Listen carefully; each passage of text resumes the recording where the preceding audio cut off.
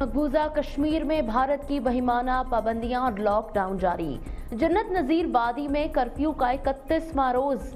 کشمیری ایک انسانی بحران سے دو چار ہیں وادی میں کھانے پینے کی چیزوں، ادویات اور دیگر اشیاء ضروریہ کی شدید قلت۔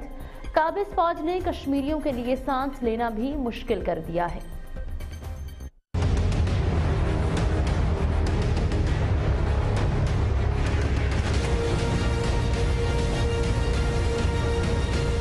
دہشت گرد مودی کا نہتے کشمیریوں پر جبر اور غیر انسانی اقدام۔ مقبوضہ کشمیر کا پانچ اگست سے ٹی وی، انٹرنیٹ، اخبار اور فون کی بندش کی وجہ سے رابطہ دنیا سے منقطع ہو چکا ہے۔ قابض فوج نے کشمیریوں کے لیے سانس لینا بھی مشکل کر دیا ہے۔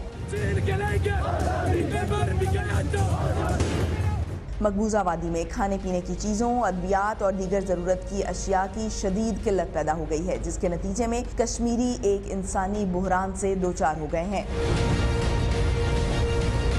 مقبوضہ کشمیر میں پہلے سے سات لاکھ بھارتی فوج تعینات تھی اور خصوصی حیثیت ختم کرنے کے اقدام کے باعث مزید ستر ہزار بھارتی فوج تعینات کی گئی ہے، جو کشمیریوں کے احتجاج کو پوری طاقت سے کچلنے میں مصروف ہے۔ آئے روز عالمی میڈیا کے ذریعے کشمیریوں پر بہیمانہ تشدد کی خبریں سامنے آ رہی ہیں۔